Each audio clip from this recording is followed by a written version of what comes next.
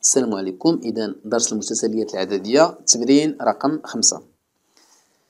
إذا في التمرين رقم خمسة غنحاولو نشوفو كيفاش نحسبو متتالية على شكل q أس n. يعني هادشي هذا كنلقاو في المتتاليات الهندسية هاد التعبير هذا. إذا q أس n. بطبيعة الحال دائما n tend vers plus infini إذا في القاعدة عندنا أربعة ديال الحالات. كنقارنو على حسب كيو إلا كانت q محصورة قطعا ما بين ناقص واحد وواحد فال limite ديال q n كتساوي لنا صفر بحال مثلا ال limite ديال واحد على جوج.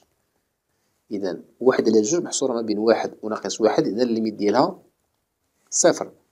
إلا كانت q كتساوي لنا واحد فال limite كيساوي واحد. إلا كانت q كبر من واحد بحال ال limite ديال جوج أس n إذا جوج كبر من واحد يعني النهاية كتساوي plus infini إلا كانت q أصغر من أو تساوي ناقص واحد النهاية كتكون غير موجودة يعني ميمكناش نحسبوها. إذا limite ديال جوج أس n إذا جوج أس n جوج أكبر من واحد إذا plus l'infini لأن جوج أكبر من واحد. النهاية المولية الليميت ديال جوج على ثلاثة. أن جوج على ثلاثة محصورة بين واحد وناقص واحد. إلا قسمت جوج على ثلاثة كتعطينا صفر فاصلة. إذا تساوي صفر. علاش؟ لأن جوج على ثلاثة محصورة ما بين واحد وناقص واحد. أولا كيمكن لي ندوز القيمة المطلقة ديال جوج على ثلاثة أصغر من واحد. الليميت ديال ناقص خمسة أس أن. إذا ناقص خمسة أصغر من ناقص واحد. إذا النهاية غير موجودة. إذا ميمكنليش نحسب هاد النهاية. هاد النهاية علاش؟ لأن ناقص خمسة أصغر من ناقص واحد. إذا الآن ال limite ديال صفر فاصلة سبعة n إذا غادي نشوف صفر فاصلة سبعة. إذا عندنا صفر فاصلة سبعة أصغر من العدد واحد وبالتالي ال limite تساوي ماذا؟ تساوي صفر. لأن صفر فاصلة سبعة القيمة المطلقة ديالها أصغر من واحد أولا ندير صفر فاصلة سبعة محصورة بين واحد وناقص واحد.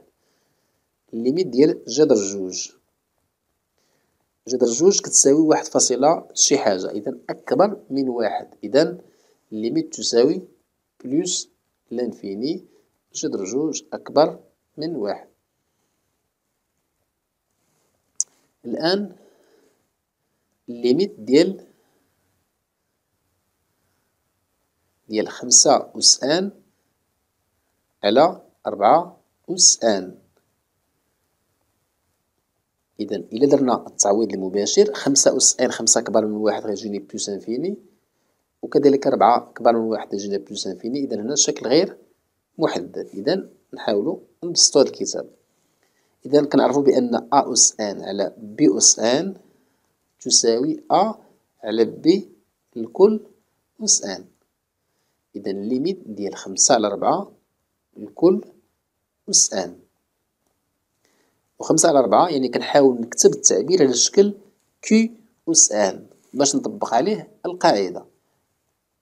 إذا كي هنا عندنا خمسة على ربعة اللي هي واحد فاصلة إذا أكبر من واحد إذا ال limite كيساوي لنا plus l'infini خمسة على ربعة لأن خمسة على ربعة أكبر من واحد. الآن ال limite ديال ربعة أس ناقص n إذا هنا معندناش أس ناقص n عندنا أس n. إذا كنحاولو نبسطو الكتابة إذا هي إذا عندنا a أس ناقص n تساوي ماذا؟ هي واحد على a أس n. إذا هي ال limite واحد على ربعة أس n. ربعة أس n ربعة أكبر من واحد وبالتالي هي ال limite ديالو هي واحد على plus infini أي صفر. أو اللي يمكن لي نكتب على هذا الشكل هذا هي ال limite. إذا واحد راه هي واحد أس n. إذا هو ال limite ديال واحد على ربعة الكل أس n. كما درنا في التعبير السابق واحد على ربعة راه محصورة ما بين واحد وناقص واحد أي النهاية تساوي صفر.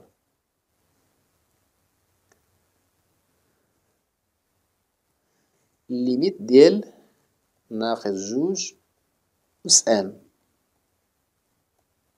ناقص جوج أصغر من ناقص واحد. إذا هنا النهاية غير النهاية غير موجودة.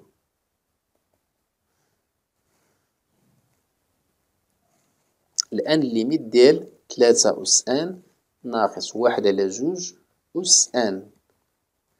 إذا التعويض المباشر تلاتة أس n عندنا تلاتة أكبر من واحد إذا plus infini وجوج أس n إذا كذلك جوج أكبر من واحد plus infini إذا غيجينا plus infini ناقص واحد على plus l'infini واحد على plus l'infini هي الصفر إذا هي plus l'infini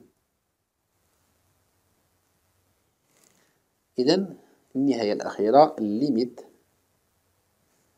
ديال تلاتة أس n زائد جوج أس n على جوج أس n. كتعويض مباشر. تلاتة أس n tend vers plus infini تلاتة كبر من واحد. جوج كذلك أس n tend vers plus infini. وفي البسط كذلك وفي المقام plus infini. إذا الشكل غير محدد. إذا هنا كيمكن لي ندير التعميل. إذا ممكن نعمل بالعدد جوج أس n. إذا ال limite ديال تلاتة أس n على جوج أس n زائد جوج أس n على جوج أس n على جوج أس إذا كنعملو في البسط. إذا كنختزلو هنا. تلاتة أس إن على جوج أس إن هي تلاتة على جوج الكل أس إن زائد واحد. عفوا هنا راه عملنا بجوج أس إن. إذا خصني إذا اختزلنا بجوج ان في البسط وفي المقام. إذا بقات لنا تلاتة أس ان على جوج أس ان زائد واحد. تلاتة n على جوج أس n هي تلاتة على جوج لكل n إذا تلاتة على جوج لكل n زائد واحد.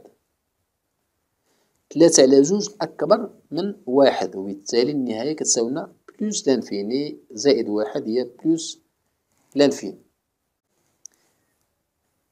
الآن في هذا التمرين هذا غنحاولو نشوفو حساب النهايات.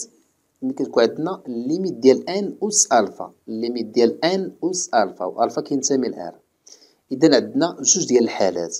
إلا كانت ألفا موجبة ف n أس ألفا ال limite ديال أس ألفا هو plus infini بحال ال limite مثلا ديال n أس خمسة ولا تلاتة على جوج ولا. هادي plus infini إلا كانت ألفا سالبة إلا كانت ألفا سالبة في هاد الحالة كتكون ال limite ديال n أس ألفا هي صفر. بحال مثلا ال limite ديال n أس ناقص تلاتة إذا ال limite ديال n أس تلاتة هي ال limite ديال واحد على n أس تلاتة أي غتعطينا صفر. إذا نبداو بهاد النهاية. ال limite ديال n أس ربعة على تلاتة plus infini إذا أربعة على تلاتة عندنا أكبر قطعا من صفر وبالتالي النهاية ديالها هي plus infini ال limite ديال n أس ناقص ستة على خمسة أو ستة على سبعة. عندنا ناقص ستة على سبعة أصغر من صفر إذا النهاية هي صفر. الآن دابا النهاية الثالثة. إذا ال limite ديال n أس تلاتة على خمسة ناقص n أس واحد على تلاتة زائد أربعة. إذا ملي درنا التعويض المباشر فغيعطيني التعبير الأول غيعطينا plus infini لأن تلاتة على خمسة موجب. كذلك هنا plus infini إذا غيكون عندنا plus infini ناقص plus infini يعني شكل غير محدد. إذا هنا خصني نعمل بالعدد بشي نعمل باش نحاول نبسط الكتابة. إذا باش غادي نعملو نعملو مثلا ب n أس واحد على تلاتة إذا ال limite ديال n أس واحد على تلاتة إذا n أس تلاتة على خمسة عملنا بأن أس واحد على تلاتة إذا نقسم عليها ناقص ماذا؟ ناقص واحد. زائد ربعة مغاديش ندخلها في التعميم نخليها خارج التعميم إذا نبسطو هاد الكتابة هادي. ان أس واحد على تلاتة نطلعها الفوق حنا عندنا ان أ أس ان على أ أس ان تساوي ماذا؟ أ أس ان ناقص ان وبالتالي ليميت ديال ان أس واحد على تلاتة ان أس تلاتة على خمسة ناقص واحد على تلاتة ناقص واحد. إذا تلاتة على خمسة ناقص واحد على تلاتة المقام الموحد هو خمسطاش. إذا كنضربو تلاتة في تلاتة تسعود وكنضربو واحد في خمسة أي ناقص خمسة تسعود ناقص خمسة هي ربعة على خمسطاش. إذا تساوي ليميت ديال ان أس واحد على تلاتة هنا زائد أربعة. واحد على تلاتة ان أس ربعة على خمسطاش. ناقص واحد زائد العدد أربعة اللي مدخلتوش في التعميل لأن ما غيفيدني بوالو. أو مكيشكلش عليا شي شي مشكل. إذا دابا نديرو التعويض. عندنا n أس واحد على تلاتة واحد على تلاتة عدد كبر من صفر إذا plus infini n أس ربعطاش ربعة على خمسطاش إذا plus infini لأن ربعطاش ربعة على خمسطاش تؤول إلى أو أكبر من الصفر.